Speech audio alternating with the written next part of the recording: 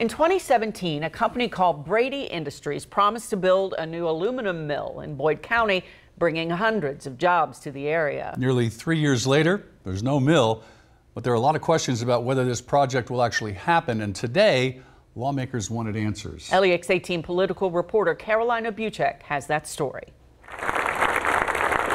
Three years ago, Braidy Industries promised hundreds of new, high paying jobs in their new aluminum mill leaving people in northeastern Kentucky hopeful. That's a wage you can support a family on, uh, and that's what we need in this area. Uh, you know, we've got a lot of hardworking folks, a lot of dedicated folks, and uh, they just look for opportunities like this. But nearly three years later, there's still no mill. So Kentucky, which invested about 15 million into it, wanted answers. And lawmakers say they've been trying to get some, but haven't had much luck. So last week, a demand was set. With the um, ongoing confusion surrounding that project and the investment of taxpayer dollars, it is imperative that they will be here next Tuesday. So that brings us to today, the deadline. Braidy Industries came, showed lawmakers a video of what the mill will look like, and reassured them that they're ready to build it. Our team has been working for over two years now on putting together the design of the mill,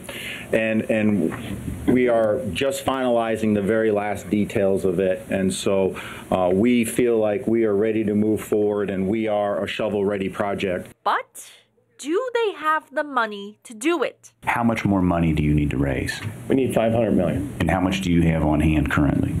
Uh, on a consolidated basis on hand today, we probably have 65. So Braidy Industries says it needs 435 million more by the end of the year. we, we and their CEO believes the they'll get it done. Uh, we are focused, laser focused every day we wake up to make sure this facility gets built.